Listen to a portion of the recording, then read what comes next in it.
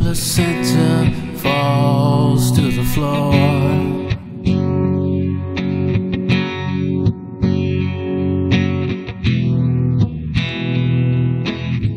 The angel opens her eyes. The confusion sets in.